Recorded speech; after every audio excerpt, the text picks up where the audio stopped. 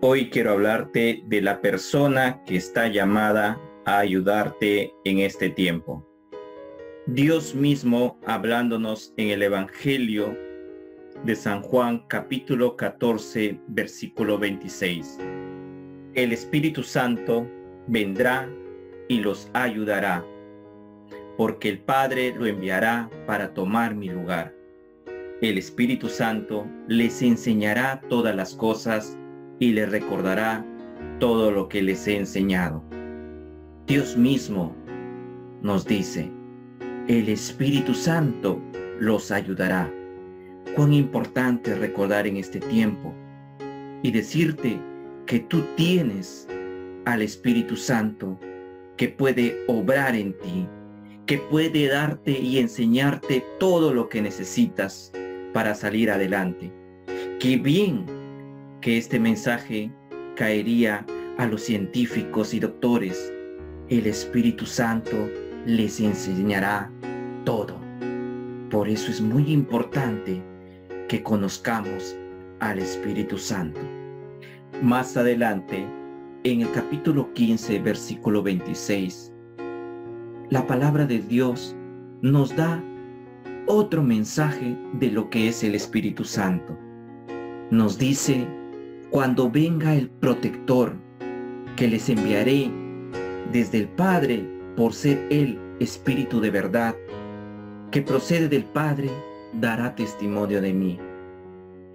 Les enviaré el protector. ¿Y la palabra protector de dónde viene? De proteger. Él es el encargado de proteger tu vida, tu hogar y darte nuevas fuerzas. Por eso, Invoca al Espíritu Santo. Llámalo, que venga y llene tu vida, que saque todos esos temores que tú tienes. Y más ahora que se acerca Pentecostés, la fiesta cristiana, donde nos hace recordar a los primeros cristianos, cómo recibieron el Pentecostés. En Hechos de los Apóstoles, capítulo 2, cuando los discípulos ya recibieron al Espíritu Santo, se sintieron embriagados de gozo. Se salieron sus temores y tuvieron nuevas luces. ¿Qué dice la palabra de Dios en Hechos de los Apóstoles, capítulo 2, versículo 17 hacia adelante? Escuchen lo que sucederá en los últimos días. Dice Dios, derramaré mi espíritu sobre cualquiera que sean los mortales.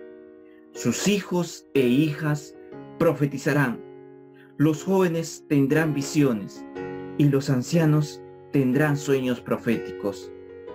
En aquellos días derramaré mi espíritu sobre mis siervos y mis siervas, y ellos profetizarán. Haré prodigios arriba en el cielo y señales milagrosas abajo en la tierra. El sol se convertirá en tinieblas y la luna en sangre antes de que llegue el día grande del Señor. Y todo el que invoque el nombre del Señor se salvará. Los discípulos estuvieron llenos del Espíritu Santo en Pentecostés y cambió sus vidas. Les dio nuevas fuerzas. Tanto así que lo mencionan en el mismo capítulo 2, en el versículo 43, dice, toda la gente sentía un santo temor, ya que los prodigios y señales milagrosas se multiplicaban por medio de los apóstoles. Ellos estaban ungidos, ellos estaban llenos y hacían prodigios, queridos hermanos. Cuán importante es hacer prodigios en estos tiempos donde una pequeñísima partícula de virus puede desterrarte de tu fe, llevarte al cautiverio. Ojo, te dijeron entra en cuarentena, mas no te dijeron que se opaque tu fe, que se opaque tu alma, que se opaque tu vida, que dejes de ser alegre, porque el cristiano tiene que ser alegre ante las adversidades, ante las injusticias No debe haber el temor porque tú estás lleno del Espíritu Santo. Pregúntate, ¿qué santo cristiano corrió ante las adversidades o se encerró en su burbuja? Dime, Madre Teresa de Calcuta, no dejaba de visitar a los enfermos, no dejaba de orar por ellos, de curarlos, de sanarlos, tanto así que se infectó de malaria, porque el cristiano es valiente.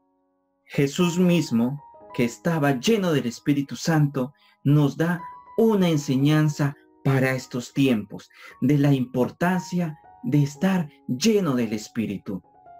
En el Evangelio de San Lucas, capítulo 17, versículo 11, dice así, de camino a Jerusalén, Jesús pasaba por los confines entre Samaria y Galilea, y al entrar en un pueblo, le salieron al encuentro diez leprosos.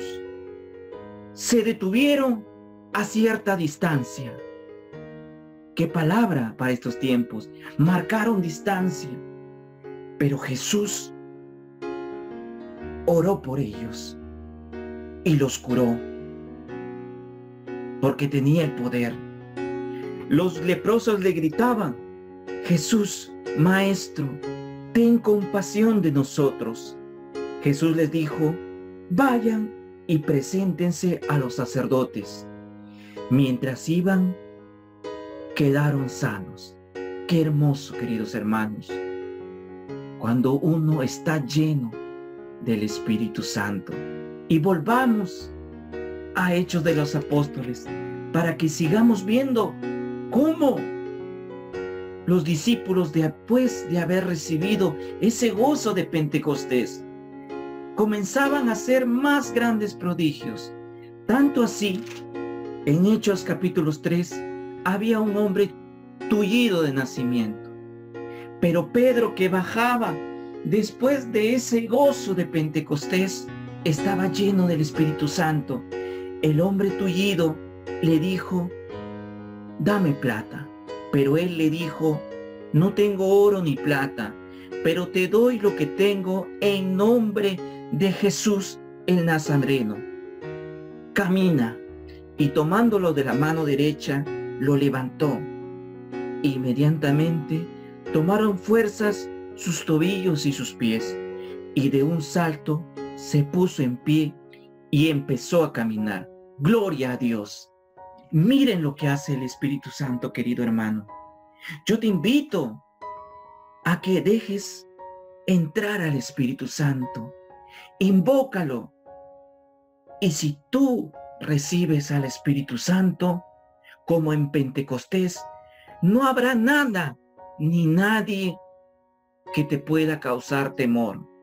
Por eso en este día, querido hermano, vamos a invocar al Espíritu Santo. Ven Espíritu Santo, llena los corazones de tus fieles y enciende en ellos el fuego de tu amor. Ven Espíritu Santo, envía tu Espíritu Creador y renueva la faz de la tierra. Oh Dios, que has iluminado los corazones de tus hijos con la luz del Espíritu Santo, haznos dóciles a sus inspiraciones, para gustar siempre el bien y gozar de tu consuelo. Ven Espíritu Santo, derrame en este día nueva unción, un nuevo Pentecostés. Que los cielos se abran, Señor, y derrama tu bendición sobre la faz de la tierra. Llévate cualquier enfermedad, cualquier virus.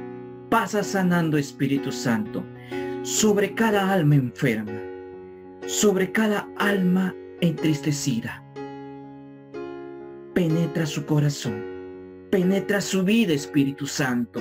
Dale gozo, dale alegría, dale fuerzas y dale lo necesario para que pueda ser una persona nueva. Ven Espíritu Santo, llena los corazones de tus fieles y enciende en ellos el fuego de tu amor.